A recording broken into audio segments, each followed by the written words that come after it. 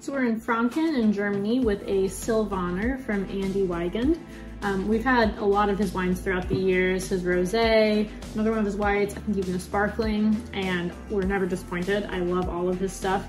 Um, and when I saw they had Silvaner this year, I was really excited about it because if you've been around for a while, you'll know that I love the grape Silvaner. I think it doesn't get enough attention. Riesling gets all the excitement, but Silvaner is a really gorgeous expression that you find in uh, Alsace and in Germany pretty often. So let's take a look at it. On the nose, really like zippy, bright, like chalky, limey thing going on up here.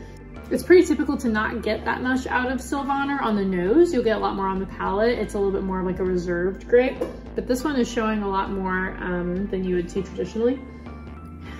Yeah, definitely like tart green apple. Maybe a little bit um, grassy as well. So it almost reminds me a little bit of like the feeling that you get when you smell a Sauvignon Blanc. The smells aren't the same, but kind of like this little, almost like a chalkiness or something to it. I don't know how to express it, but you'll see it. On the mouth. Oh, so good. Very linear, very like direct, straight, super light bodied, great acid, pretty high in acid, uh, light bodied, very easy drinking white. Um, the flavor profile is almost exactly what I said on the nose. It's got this liminess to it, a little bit like crisp and minerally and like very tart green apple.